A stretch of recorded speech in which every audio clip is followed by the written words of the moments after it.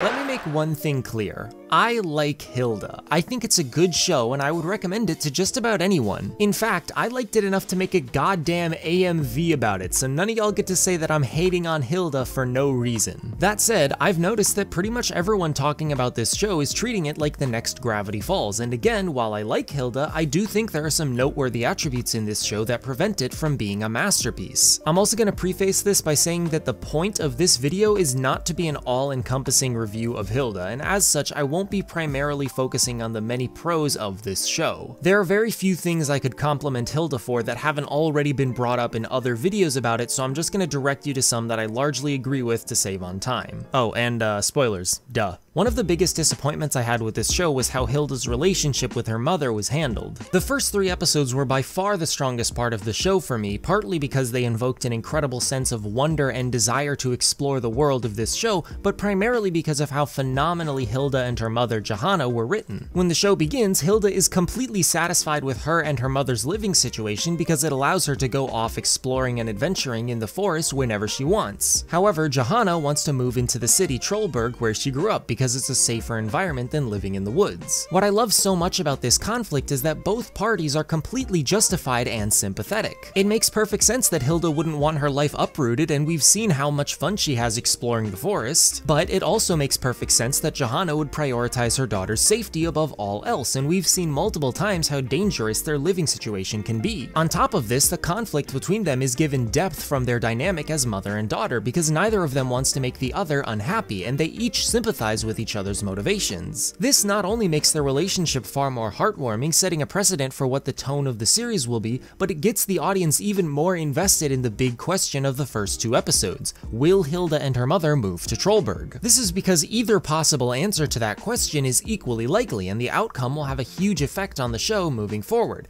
And what's more, I love how they answered that question. Having the giants step on and destroy Hilda's house not only serves as an obvious parallel for how Hilda and her mom affect the elves, but it takes the agency away from Hilda and Johanna. They no longer have a choice but to move, which means that the core dynamic which has been set up between them, Hilda valuing adventure and Johanna valuing safety, is left unsolved, meaning that it will continue to be an aspect of the rest of the show. And in episode 3, that happened. Hilda is naturally upset with the new living situation, but her mother shows how the city can be just as exciting as the forest, and the show really sells this message. The way Johanna explains how each house is a different color and each mailbox has a different design and stuff was wonderful, as was learning about the unique culture of this city and how they throw an annual festival for the Great Raven. The strongest moment that conveyed this for me was when Hilda and her mother rush to the roof of a building and look out onto the city, and it's beautiful, it's spectacular, it's breathtaking, and a bunch of other adjectives. When I watched those first two episodes, I was sad that Hilda and her mom were moving to Trollberg for the same reasons that Hilda was. The city didn't seem as interesting to me as all the creatures and landscapes that were present in the forest. And throughout episode 3, I continued to be in the same mindset as Hilda, and so when Johanna was revealing all of this stuff about the city to Hilda,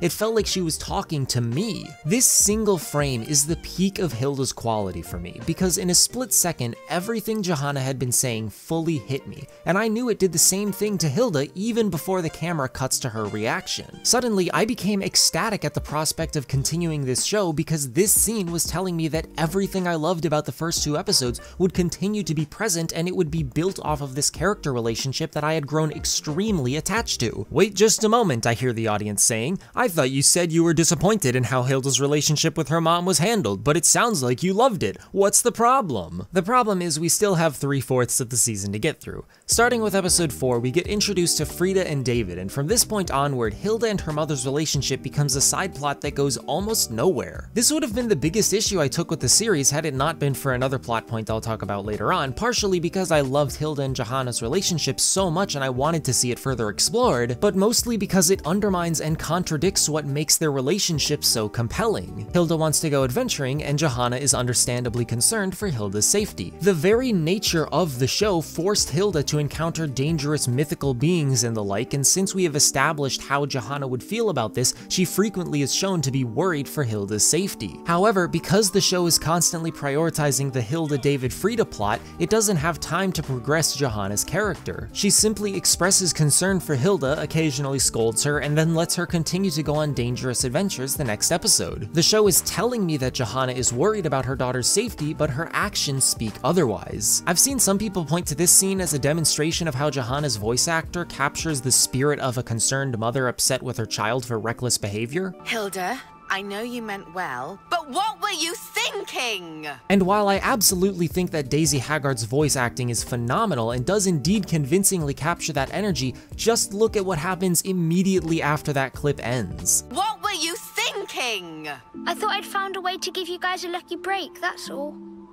Well, that's that is very sweet. What? Johanna just does a complete 180 in her attitude towards Hilda's actions for no reason, despite the fact that Hilda just literally almost killed her and David. Because the show needs Johanna to reset by the end of the episode so that Hilda can continue to go on dangerous adventures. She knows that Hilda had good intentions, and Hilda's response to her mother's anger does nothing more than clarify the specifics of those good intentions, and this is good enough for Johanna to just be like, oh, okay, never mind, fam, you good. And this is before Hilda implies that she'll be more careful on adventures, which of course turns out to be total horseshit anyways. This moment is the worst offender in my opinion, but it is far from the only one. Johanna nearly constantly sees how much danger Hilda gets herself into and expresses concern, but she never takes action. And we know that she is more than willing to take drastic measures to keep Hilda safe because that's why she wanted to move to Trollberg in the first place, which is why it feels so uncomfortable for her to just reset to trusting relaxed mom mode after every monster of the week. When I was a kid and I unintentionally did something I wasn't supposed to, my parents didn't just say don't do that, they punished me appropriately so that the lesson would actually sink into my tiny skull. I truly believe that the reason Johanna's character gets pushed to the sidelines is because of a lack of time, which is the result of the show creators being more focused on Hilda, Frida, and David's relationship. And from what I've heard, the original graphic novels created by Luke Pearson actually didn't include nearly as much Frida and David content, which makes me very curious to read them, but unfortunately I can't find them anywhere. I guess hit me up in the comments if you know where to look. Regardless, it really is a shame that we see so little of Johanna because if you ask me, having her take action to prevent Hilda from adventuring and having the two of them come to a compromise fueled by their love for one another was the obvious and natural path for this story to take. I will say that I like the development they got in how Hilda lies to Johanna about getting a lot of scouting badges to make her mom proud, even though it wasn't really related to Hilda's adventuring. It's also just unfortunate that this means we don't get to hear Daisy Haggard's incredible voice acting very much, since Johanna is easily the best voiced character in my opinion, and this is coming from a show that has fantastic voice acting across the board.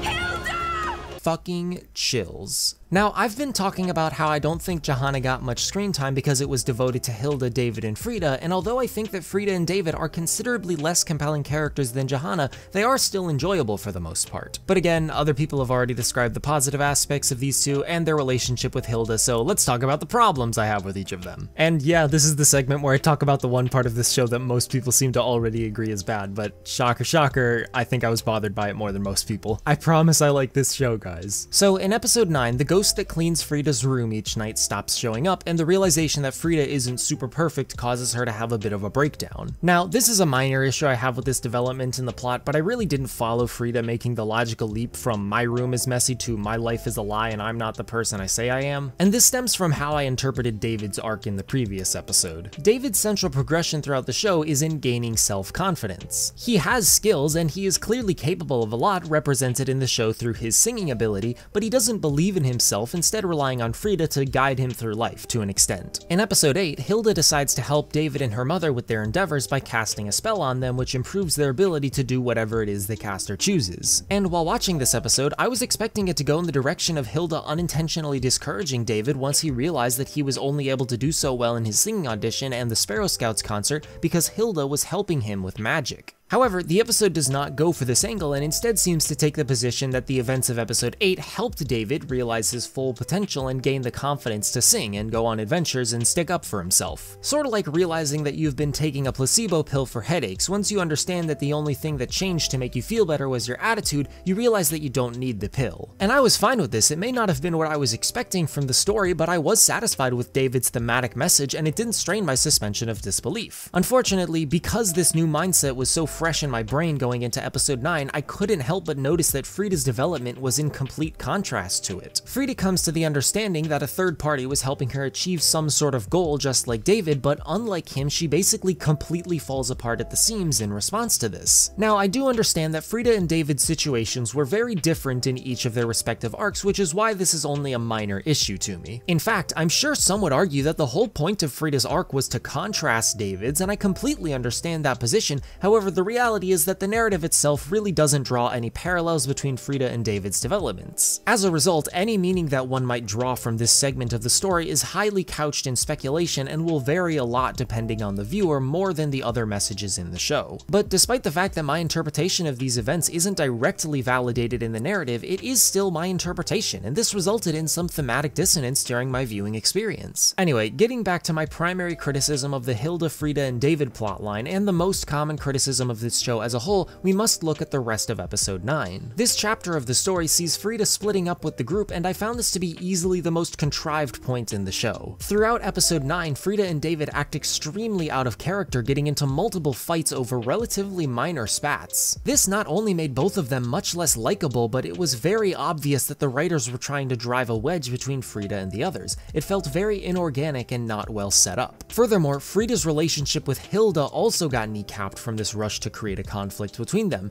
At the end of episode 9, we learn that Frida is upset with Hilda for frankly nonsensical reasons. And honestly, I think that the best way to explain why I take such issue with this is to go line by line through Frida's explanations for why Hilda has been a bad friend and break down why they make no sense. Still our friend.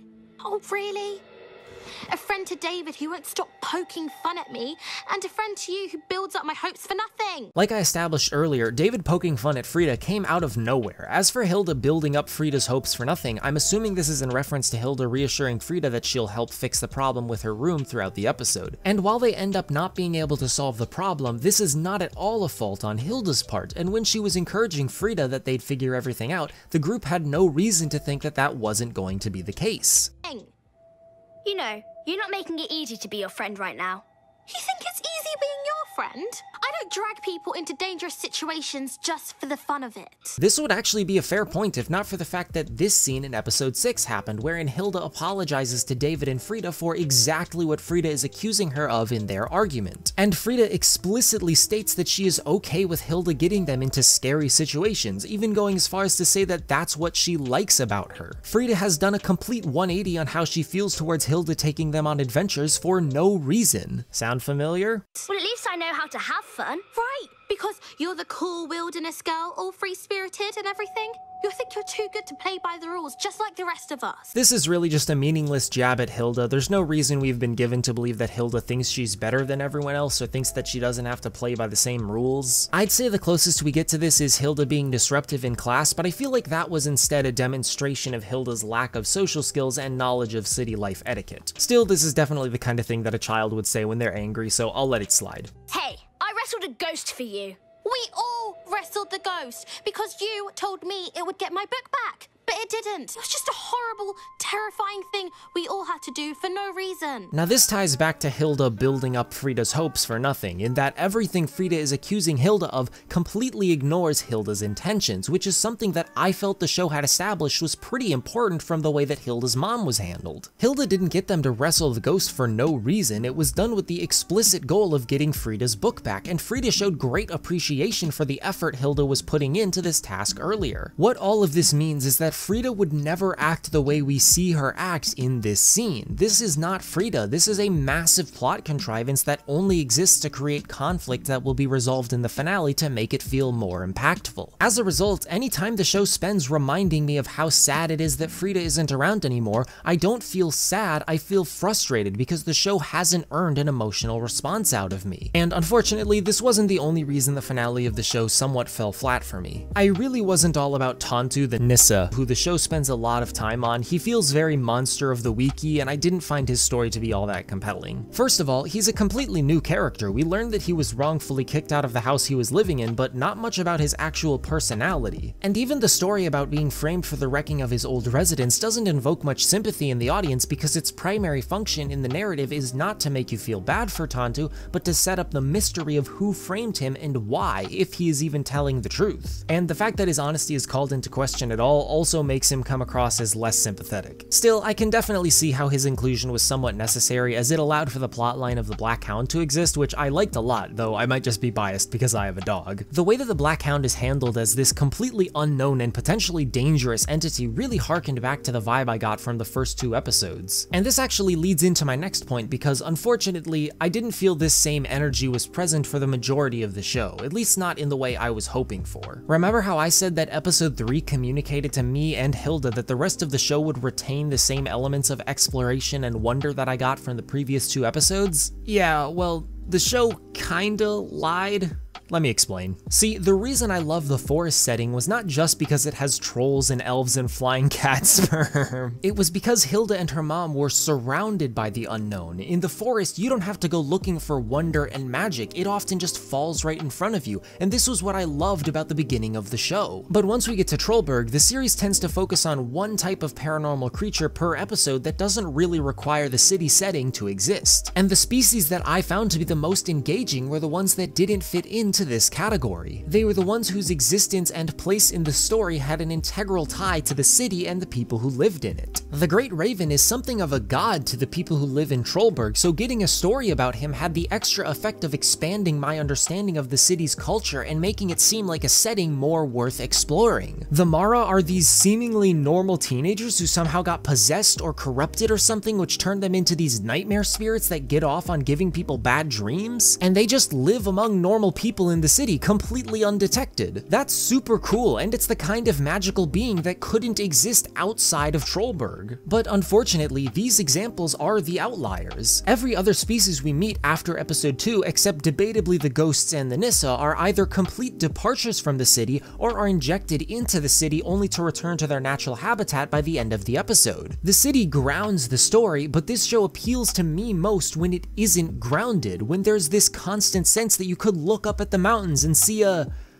that thing. There's a reason I chose the song Catch and Release by Matt Simons for that AMV I made about this show. Some of my favorite video games in recent memory are games which invoke that emotion. Breath of the Wild, Minecraft, Pikmin 3, Hollow Knight, they all place huge emphasis on exploration. Just charting into a complete blue ocean, not knowing what you might find, is one of the most captivating feelings for me, and it was briefly present in Hilda. But that magic got noticeably dampened when the show chose to be about finding something new in a familiar setting rather than exploring exploring an unfamiliar setting. Watch Arlo's video breaking down the exploration in Breath of the Wild and just replace the words shrines and Koroks with creatures and landscapes to get a better impression of how I felt watching episodes like The Hidden People, House in the Woods, and The Midnight Giant. I'm sure a lot of people who are off-put by this video are just thinking, well, of course you didn't like this show as much as most people, you expected it to be something that it isn't. And that's entirely true. I expected Hilda to continue being like the first three episodes, and so I'm sure that when it deviated from what I was hoping for, I may have had a less positive reaction to it than someone who was just taking in whatever the show threw at them. But that doesn't make my opinion about the show or interpretation of the events that took place within it any less valuable just because they deviate from the norm. Personally, I enjoy analysis of media that doesn't try to look at art from an unbiased perspective because it feels more personal to me. But just like I'd never say that other types of analysis are worse, I'd never say that anyone who doesn't share my opinion on Hilda is wrong. And I just hope that anyone watching this video feels the same way way.